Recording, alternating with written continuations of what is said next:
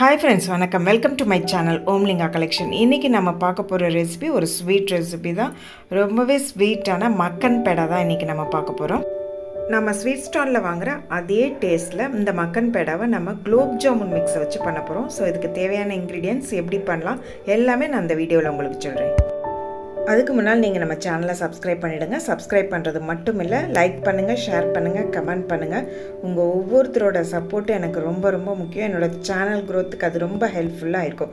Okay இப்போ நம்ம எப்படி ப்ரிப்பேர் பண்ணுறதுங்கிறத பார்த்துடலாம் சுகர் சேம் இதே கப்பில் ரெண்டு கப் எடுத்துக்கணும். வாசனைக்காக ஏலக்காய் முந்திரி திராட்சை. உங்களுக்கு இன்னும் ரிச்சாக வேணும்னா பாதாம் பிஸ்தா கூட கூட ஆட் பண்ணிக்கலாம். நெய் தேவையான அளவு. ஜாமுன் மிக்ஸ் பார்த்திங்கன்னா நான் எம்டிஆர் எடுத்திருக்கேன். ஆஸ் யூஷுவல் நீங்கள் என்ன பிராண்ட் யூஸ் பண்ணுவீங்களோ அதே பிராண்ட் யூஸ் பண்ணி பண்ணலாம்.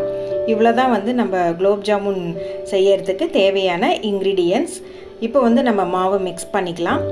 அந்த குலோப் ஜாமுன் மிக்ஸோட ஒரு ரெண்டு ஸ்பூன் நீங்கள் ரெண்டு டேபிள் ஸ்பூன் அளவுக்கு நெய் சேர்த்துக்கோங்க. ஸோ அதோடய ஃப்ளேவர் ரொம்ப சூப்பராக இருக்கும். உங்களுக்கு ஸ்வீட் ஸ்டால்லலாம் வந்து பார்த்திங்கன்னா ஸ்வீட்லெஸ் கோவா அதுக்கப்புறம் மைதா மாவு இதுதான் சேர்த்து பண்ணுவாங்க. மாவு பார்த்திங்கன்னா ஃபைனல் ஸ்டேஜில் இப்படி தான் இருக்கும். இந்த மாதிரி தான் பிசைஞ்சு எடுத்துக்கணும். இப்போ நம்ம ஜீரா ரெடி பண்ணிடலாம். நான் எடுத்த சேம் கப்பில் ரெண்டு கப் சுகர் எடுக்கிறேன். சப்போஸ் உங்களுக்கு ஸ்வீட் இன்னும் அதிகமாக வேணும் அப்படின்னா இன்னொரு கால் கப் கூட நீங்கள் சுகர் சேர்த்துக்கலாம். இப்போ இந்த சுகரோட நம்ம தண்ணி சேர்த்துக்கலாம். தண்ணி வந்து அந்த கப்பில் ஒரு கப் வச்சிங்கன்னா போதும்.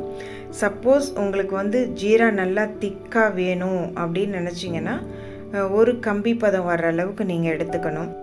பொதுவாகவே பார்த்தீங்கன்னா நம்ம எந்த ஒரு ஸ்வீட்டுக்கும் ஜீரா ரெடி பண்ணும்போது ஜீரா வந்து கட்டாமல் இருக்கணும்னா ஒரு ரெண்டு ட்ராப் அதில் லெமன் சேர்த்துட்டோன்னா ஜீரா வந்து நீங்கள் எந்த பதத்தில் எடுக்கிறீங்களோ சேம் அதே பதத்தில் இருக்குது இது ஒரு சின்ன டிப்பு இப்போ பார்த்தீங்கன்னா நம்ம ஏலக்காய் பொடி சேர்த்துக்கலாம். ஆல்ரெடி நான் நிறைய வீடியோவில் சொல்லியிருக்கேன். ஏலக்காய் பொடி வந்து பார்த்திங்கன்னா நான் பவுடர் பண்ணும்போது ரெண்டு ஸ்பூன் சுகர் சேர்த்து பவுடர் பண்ணுவேன். ஸோ அதனால தான் உங்களுக்கு மாவு மாதிரி தெரியுது. இப்போ நம்ம ஜாமுனில் போட அந்த பால் ரெடி பண்ணிடலாம். குட்டி குட்டி பாலாக ரெடி பண்ணி இந்த அளவுக்கு நீங்கள் கையிலேயே இப்போ நான் எப்படி பண்ணுறேன் அதே மாதிரியே இந்த விரலில் நீங்கள் பண்ணிங்கன்னா இந்த அளவுக்கு பெருசாக வரும். அதுக்கப்புறம் பார்த்தீங்கன்னா உங்களுக்கு நடுவில் அந்த ஸ்டஃபிங்க்காக நான் வந்து ரெண்டு திராட்சை ரெண்டு முந்திரி வைக்கிறேன். சப்போஸ் உங்களுக்கு இன்னும் ரிச்சாக வேணும்னா நீங்கள் வந்து பாதாம் பிஸ்தா அதை கூட சின்ன சின்னதாக கட் பண்ணி சேர்த்துக்கலாம். ஸோ ரெண்டு பக்கமும் மடித்து இந்த மாதிரி உருட்டுறேன். ஸோ இந்த மாதிரி உருட்டினீங்கன்னா உங்களுக்கு அந்த மக்கன் பெடா ஸ்டைலுக்கு வந்துடும் சேம் இந்த மாடல்லே எல்லா பீஸும் ரெடி பண்ணி எடுத்துக்கோங்க.